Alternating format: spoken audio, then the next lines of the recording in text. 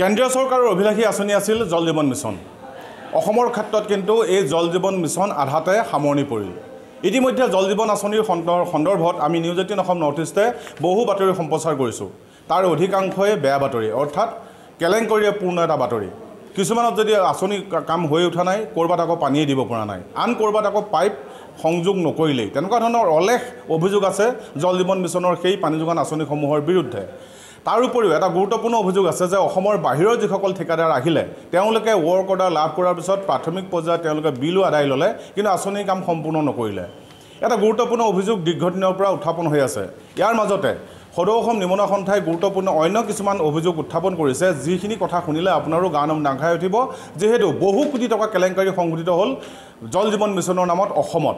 আৰু লখিমপুৰৰ কথা দূৰতে থ'লোঁ অসমৰ যদি আপোনালোকে যিখিনি পৰিমাণ সেই পৰিমাণখিনি শুনে তেতিয়াহ'লে আপুনিও ক'ব লাগিব এইখন চৰকাৰে প্ৰকৃততে কোনটো কাম ভালকৈ কৰিছে বা ইমান এটা ডাঙৰ কাম কৰিবলৈ লৈ কিয় এনেকুৱা ধৰণৰ কেলেংকাৰীত লিপ্ত হ'ল? কোন আছে ইয়াৰ আঁৰত? অসমত জল জীৱন মিছন ফেইল হোৱাৰ বা কৃতকাৰ্য হ'ব নোৱাৰাৰ আঁৰত কোন? কাৰ কাৰণে জল জীৱন মিছন আধাতে সামৰিবলগীয়া হ'ল? গোটেইখিনি কথা এইবাৰ আমি শুনিবলৈ যত্ন কৰিম। সদৌ অসম নিবনুৱা সন্থাৰ কেন্দ্ৰীয় সমিতিৰ কেন্দ্ৰীয় সমিতিৰ সম্পাদক জীৱন ৰাজমা আমাৰ লগত আছে। তেখেতে সকলো কথা তথ্য সহকাৰে আমাৰ আগত ব্যক্ত কৰিব। আপোনাৰ মুখৰ পৰা শুনিম। যে ইতিমধ্যে আমি বহুবাৰ বাতৰি সম্প্ৰচাৰ কৰিছোঁ বহুকেইটা বাতৰি কৰিছোঁ। তাত আমি উল্লেখ কৰিছোঁ। কিন্তু আপোনাৰ হাতত কেতবোৰ চাঞ্চল্যকৰ তথ্য আছে সেইখিনি দাঙি ধৰিবৰ কাৰণে অনুৰোধ জনালোঁ। আমি তথ্য জনাৰ অধিকাৰ আইনৰ ভিত্তিত তথ্য আমি সংগ্ৰহ কৰিছোঁ। তেখেতসকলৰ তথ্যৰ ভিত্তিত আমি আপোনালোক ক'ব বিচাৰিছোঁ যে অসমত এসত্তৰ হাজাৰ এসত্তৰ লাখ সাতষষ্ঠি হাজাৰ আঠশ ছিয়াশীটা পৰিয়ালৰ পানী যোগানৰ কাৰণে কেন্দ্ৰীয় চৰকাৰ আৰু অসম চৰকাৰে টকা অনুমোদন দিছিলে সোতৰ লাখ সাতশ ঊনপঞ্চাছ দশমিক নব্বৈ কোটি টকা। আৰু এই টকাৰ টকাৰ অনুপাতে তেখেতসকলে কাম কৰিব লাগিছিল এসত্তৰ লাখ সাতষষ্ঠি হাজাৰ আঠশ ছিয়াশীটা পৰিয়ালক পানী যোগান দিব লাগিছিল। কিন্তু পাঁচ ন দুহেজাৰ চৌবিছ তাৰিখলৈকে আঠাৱন্ন হেজাৰ তিনিশ তেত্ৰিছটা পাইপহে বহুৱা আমাৰ দৃষ্টিগোচৰ হৈছে। এতিয়া এতিয়া ডাঙৰ কথাটো হৈছে কি যে ইমান টকা তেওঁলোকে দিয়াৰ পিছতো যে কিয় আজিলৈকে কাম কৰা নহ'লে? ইয়াৰ মূলতে আমি যিজন সঞ্চা সঞ্চালক আছে মিছন যিজন সঞ্চালক আছে সঞ্চালকজনকে আমি দৈবৰীয়া বুলি ক'ম। এইকাৰণে ক'ম যিহেতু তেখেতসকলে ঠিকাদাৰজনক যেতিয়া ৱৰ্ক অৰ্ডাৰখন দিয়ে ৱৰ্ক অৰ্ডাৰখনত লিখিত থাকে যে পুৰণা কামৰ কাৰণে নব্বৈ দিন আৰু নতুন কামৰ কাৰণে এশ আশী দিন সময় তেওঁলোকক ধাৰ্য কৰি দিয়া হয়। তেখেতসকলে যেতিয়া সেই নিৰ্দিষ্ট সময়সীমাৰ ভিতৰত কাম যেতিয়া নকৰে তেখেতসকলক এটা নীতি নিয়ম অনুসৰি তেখেতসকলক শাস্তিমূলক ব্যৱস্থা গ্ৰহণ কৰিব লাগে নতুবা ব্লেক লিষ্টেড কৰিব লাগে। কিন্তু তেওঁ তেখেতসকলে কোনো ধৰণৰ ব্যৱস্থা এজন ঠিকাদাৰক আজিলৈকে কৰা আমি দৃষ্টিগোচৰ নহ'লে। আৰু আমি সেইকাৰণে সঞ্চালকগৰাকীকে আমি জগৰীয়া বুলি আমি ক'ব বিচাৰোঁ। যিহেতু সঞ্চালকগৰাকী যদি ভালদৰে পৰিচালনা কৰাহেঁতেন তেনেহ'লে এই কামসমূহ সম্পূৰ্ণৰূপে হৈ উঠিলহেঁতেন। কিন্তু এতিয়া আমাৰ অসমত এইটো এটা সম্পূৰ্ণ এটা বিফল এটা আঁচনি হ'ল। যিহেতু তেখেতসকলে দিয়া তথ্য অনুসৰি মই ক'ব বিচাৰিছোঁ সাত হাজাৰ সাতশ বাৱন্নটা জল জীৱন মিছন ইতিমধ্যে সম্পূৰ্ণ হৈছে।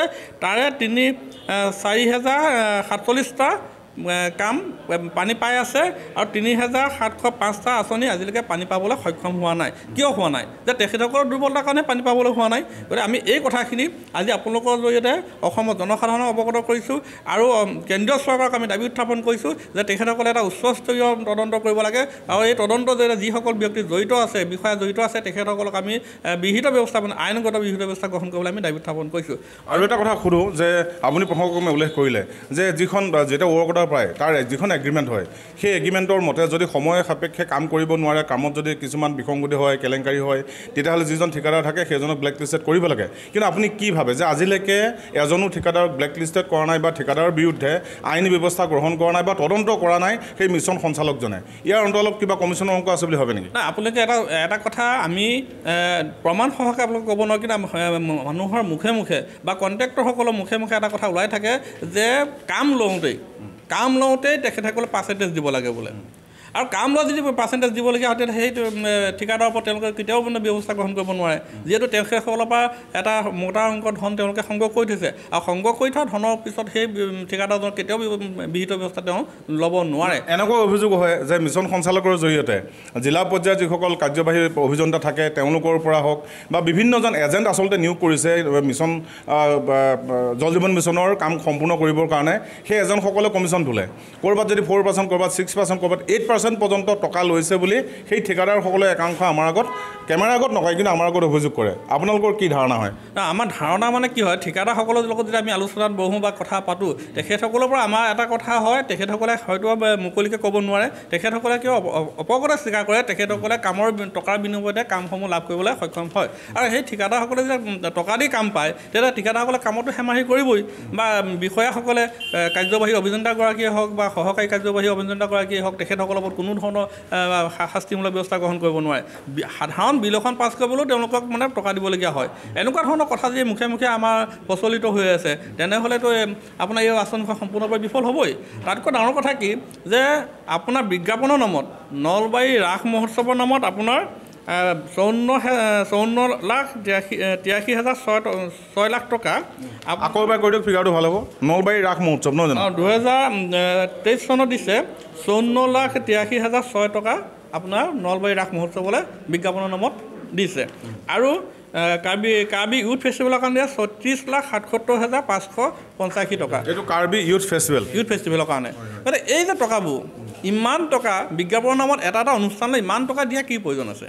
ইয়াতো নিশ্চয় কিবা ৰহস্য থাকিব পাৰে। বা যিসকলৰ নাম ইয়াত উল্লেখ আছে তালিকাত আপোনালোকে আৰ টি আই কৰি তালিকাখনত পাইছে। তেওঁলোকে পাইছেনে নাই সেইটো এটা তদন্তৰ বিষয় নহয় তদন্ত বিষয়। গতিকে আমি কৈছোঁ যে এই বিষয়বোৰ সম্পূৰ্ণৰূপে তদন্ত কৰিব লাগিব। কেন্দ্ৰীয় চৰকাৰে এটা তদন্ত কৰিব লাগিব। অসম চৰকাৰে নহয়। অসম চৰকাৰ ইয়াত এইকাৰণে নহয় বুলিও আমি কৈছোঁ। অসম চৰকাৰৰ হয়তো কোনোবা মন্ত্ৰীও ইয়াত জড়িত হৈ থাকিব পাৰে। মানে এই বিভাগৰ মন্ত্ৰীজনো হয়তো জড়িত হৈ থাকিব পাৰে। গতিকে আমি অসম চৰকাৰৰ তদন্ত কৰা আমি বিচৰা নাই। কেন্দ্ৰীয় চৰকাৰৰ পৰা আমি তদন্ত বিচাৰিছোঁ। যিহেতু বিষয়টো সম্পূৰ্ণৰূপে কেন্দ্ৰীয় চৰকাৰৰ ফাণ্ড এইটো। এইটো আমাৰ অসম চৰকাৰৰ মাত্ৰ অসম চৰকাৰে সোতৰশ সোতৰশ সোতৰশ আপোনাৰ বাষষ্ঠি হাজাৰ ছয় ছয় ন কোটি টকাহে অসম চৰকাৰে অংশী- অংশীদাৰ গতিকে গোটেই সম্পূৰ্ণ টকাখিনি আপোনাৰ কেন্দ্ৰীয় চৰকাৰৰ। কেন্দ্ৰীয় চৰকাৰে হাত সাৱটি বহি থাকিলে নহ'ব। কেন্দ্ৰীয় চৰকাৰে এইটো উচ্চস্তৰীয় তদন্ত দিব লাগিব। উচ্চস্তৰীয় তদন্তৰ জৰিয়তে এই গোটেই বিষয়খিনি সমাধান কৰিব লাগিব। ইতিমধ্যে আমাক এটা কি কৰিছে আমি সুধিছিলোঁ তেখেতসকলক যে আপোনালোকৰ এই আঁচনিখন কেতিয়া শেষ হ'ব লাগে। কিন্তু আমি জানো যে আঁচনিখন শেষ হোৱা তাৰিখ আছিলে দুহেজাৰ চৌবিছ চনৰ মাৰ্চ মাহত। কিন্তু এতিয়া আমাক কি কৰিছে তেখেতসকলে হাতে পেঞ্চিলে লিখি দিছে ছাব্বিছ ছাব্বিছ চনৰ মে' মাহতে কামখিনি শেষ হ'ব। আৰু ঠিক আছে ছাব্বিছ চনৰ মে' মে' মাহত কামখিনি শেষ হ'ব কিন্তু আপোনালোকৰ ওচৰত টকা আছে কিমান? আপোনালোকৰ ওচৰত টকা জমা আছে মাত্ৰ চাৰিশ তেত্ৰিছ দশমিক বাৱন্ন কোটি টকা। চাৰিশ তেত্ৰিছ দশমিক বাৱন্ন কোটি টকাৰে ইমান এটা আপোনাৰ কিমান আছে সংখ্যা? আপুনি সংখ্যাটো চাই থাকক আপুনি আমি আকৌ যাম। প্ৰিয় দৰ্শকসকল আপোনালোকে চাই আছে কমেণ্ট কৰক। নিউজ এইটিন অসম নৰ্থ ইষ্টৰ ডিজিটেল পেজ কাৰণ আপোনালোকৰ অঞ্চলতো হয়তো জল জীৱন মিছনৰ কাম চলি আছে। ক'ৰবাত হয়তো পানী খাবলৈ পাইছে ক'ৰবাত হয়তো স্কিমৰ কামেই কোনোবাই পানী খাবলৈ পোৱা নাই ক'ৰবাত হয়তো স্কিমৰ কামেই অসম্পূৰ্ণ হৈ আছে। অৰ্থাৎ এটা সম্পূৰ্ণ বেমেজালিৰ মাজেৰে চলি থকা প্ৰক্ৰিয়া এটাত পৰিণত হৈছে জল জীৱন মিছন। আৰু এইখন চৰকাৰৰ কাৰণে হয়তো সৰ্বকালৰ একেবাৰে কলংকিত অধ্যায় হ'ব যদি জল জীৱন মিছনৰ এই কেলেংকাৰীটো নিকাভাৱে তদন্ত নকৰে। আৰু তদন্ত কিন্তু কেৱল ঠিকাদাৰৰ মাজত কৰিলে নহ'ব। তদন্ত প্ৰক্ৰিয়ালৈ কেৱল ঠিকাদাৰসকলক আনিলে নহ'ব। বিষয়াবৰ্গক তদন্তৰ আওতালৈ আনি সমগ্ৰ প্ৰক্ৰিয়াটো এক উচ্চ পৰ্যায়ৰ তদন্ত কৰিলেহে জল জীৱন মিছনৰ আচল কেৰুণটো ক'ত লাগি আছে সেয়া ওলাব। ইতিমধ্যে সদৌ অসম নিবনুৱা সন্থাই যথেষ্ট তথ্য দাঙি ধৰিলে। আমিও বাৰে বাৰে বাতৰি সম্প্ৰচাৰ কৰি আছোঁ যে অসমত কেনেকৈ জল জীৱন মিছন এটা বগাহাতীত পৰিণত হৈছে। আচলতে এই কেলেংকাৰী উৰ কেতিয়া পৰিব অন্ত কেতিয়া পৰিব বা ইয়াৰ আচলতে উৎসটো কেতিয়া উদ্ধাৰ হ'ব সেই বিষয়ে এক জটিল প্ৰশ্ন প্ৰশ্ন বৰ্তমান অৱতাৰণা হৈ আছে। আৰু তথ্য আছে আমি কথা পাতিব যত্ন কৰিম আমি কৈছোঁ যে চাৰি চাৰিশ তেত্ৰিছ দশমিক ছয় চাৰিশ তেত্ৰিছ দশমিক পাঁচ দুই কোটি টকা বৰ্তমান অসম চৰকাৰৰ ওচৰত জমা আছে। আৰু তেখেতসকলে কাম কৰিব লাগিব তেৰ হেজাৰ সাতষষ্ঠি তেৰ লাখ সাতষষ্ঠি হাজাৰ পাঁচশ তেপন্নটা পাইপ পুতিব লাগিব। এতিয়াও সেইকেইটা কাম বাকী আছে।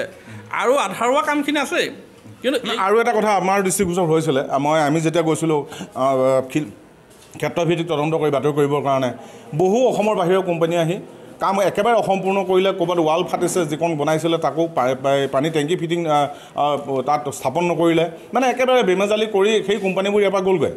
বা সেই বাহিৰৰ ঠিকাদাৰবিলাক ইয়াৰ পৰা গ'লগৈ। তেওঁলোকৰ বিৰুদ্ধে কিন্তু কিন্তু তদন্ত ব্যৱস্থা কৰা নাই শাস্তিমূলক ব্যৱস্থা লোৱা নাই। নাই আমি প্ৰথমে কৈছোঁ যে অসমৰ কোম্পানীয়ে হওক বা অসমৰ বাহিৰৰ কোম্পানীয়ে হওক যিয়ে নহওক তেখেতসকলে সেই আইনগত ব্যৱস্থা যদি গ্ৰহণ কৰাহেঁতেন আজিৰ তাৰিখত অসমৰ জল জীৱন মিছনটো সম্পূৰ্ণৰূপে সফল হ'লহেঁতেন। আইনগত কোনো ব্যৱ- ব্যৱস্থা গ্ৰহণ নকৰাৰ কাৰণে আজি এইটো অৱস্থা হ'ল। মই আৰু এটা কথা আপোনালোকক আপোনালোকক ক'ব বিচাৰোঁ আপোনালোকৰ মাধ্যমৰ জৰিয়তে যে কেৱল ঠিকাদাৰক আমি দোষাৰোপ কৰিলে নহ'ব আৰু জল জন জনস্বাস্থ্যৰ কাৰিকৰী বিভাগত বহু নিবনুৱা যুৱকে নিজৰ নাম পঞ্জীয়ন কৰি তেখেতসকলে জল জীৱন মিছনৰ কামৰ কাৰণে কাম কৰি আছিল। আৰু তেখেতসকলে ভালদৰে কাম কৰিছে। আমাৰ যি স্থানীয় ল'ৰা আছে স্থান- স্থানীয় যিসকল ঠিকাদাৰ আছে তেখেতসকলে বহুত ভালদৰে কাম কৰিছিল আৰু তেখেতসকলে প্ৰাপ্যপদ আমি কামনা কৰোঁ। কিন্তু যিসকল দুৰ্নীতিপৰায়ণ ঠিকাদাৰ যিসকল কোম্পানী আছিল আমাৰ যিখিনি কোম্পানীয়ে বৰ্তমান কাম বন্ধ কৰি থৈ গুচি গ'ল আধাৰ কৰি থৈ গুচি গ'ল সেই কোম- কোম্পানীসমূহৰ ওপৰত বিহিত ব্যৱস্থা গ্ৰহণ কৰিব লাগিব বুলি আমি সদৌ অসম নিবনুৱা সন্থাই আপোনালোকৰ মাধ্যমে অসম চৰকাৰ আৰু কেন্দ্ৰ চৰকাৰক দাবী উত্থাপন কৰিছোঁ। ধন্যবাদ। এই আছিলে সৰু অসম নিবনুৱা সন্থাৰ সাধাৰণ সম্পাদক জীৱন ৰাজখোৱা। ইতিমধ্যে মই পুনৰ কৈছোঁ জীৱন ৰাজখোৱাই যথেষ্ট কেইটা গুৰুত্বপূৰ্ণ অভিযোগ উত্থাপন কৰিছে তথ্য সহকাৰে। তথ্য জনা জনা অধিকাৰ আইনৰ অধীনত তেখেতে তথ্য লাভ কৰিছে জনস্বাস্থ্য কাৰিকৰী বিভাগৰ পৰা। অৰ্থাৎ এই তথ্যখিনিত কোনো বিসংগতি থাকিব নোৱাৰে। ইয়াৰ উপৰিও ইয়াৰ পূৰ্বে আমি যিসমূহ বাতৰি সম্প্ৰচাৰ কৰি আছিলোঁ। প্ৰতিটো বাতৰিত পাতে পাতে আমি ভিডিঅ'সহ এটা কথা প্ৰমাণ কৰি দিছোঁ যে জল জীৱন মিছন আঁচনিত জল জীৱন মিছনত ব্যাপক কেলেংকাৰীৰ সৃষ্টি হৈছে ব্যাপক কেলেংকাৰীত অ, লিপ্ত হৈছে যিসকল বিষয়া আছে ঠিকাদাৰ আছে। এতিয়া আমাৰ প্ৰশ্ন এই নিকা ভাৱমূৰ্তি চৰকাৰখন নিজকে নিকা ভাৱমূৰ্তি চৰকাৰ বুলি জাহিৰ কৰি থকা অসমৰ মুখ্যমন্ত্ৰীগৰাকীয়ে বা যি সংশ্লিষ্ট মন্ত্ৰীগৰাকী আছে সেই মন্ত্ৰীগৰাকীয়ে কেতিয়াকৈ জল জীৱন মিছনৰ এই কেলেংকাৰীটোত জড়িত থকা লোকসকলৰ বিৰুদ্ধে তদন্ত আৰম্ভ কৰিব? বা যিসকল দোষী সাব্যস্ত হয় তেওঁলোকক কেতিয়াকৈ আইনী ব্যৱস্থা গ্ৰহণ কৰিব? এই দৃশ্যটো চাবৰ কাৰণে কিন্তু আমি সকলো বাট চাই আছোঁ। ধন্যবাদ দৰ্শকসকল। অতপৰে আমাৰ নিউজ এইটিন অসম নৰ্থ ইষ্টৰ এই ডিজিটেল পেজ চাই থকাৰ কাৰণে। আপুনি বিচৰা বাতৰি পাব কেৱল নিউজ এইটিন এপত। নিউজ এইটিন এপ ডাউনলোড কৰিবলৈ স্কেন কৰক এই Q R code Google Play ষ্টৰতো পাব এই নিউজ এইটিন এপ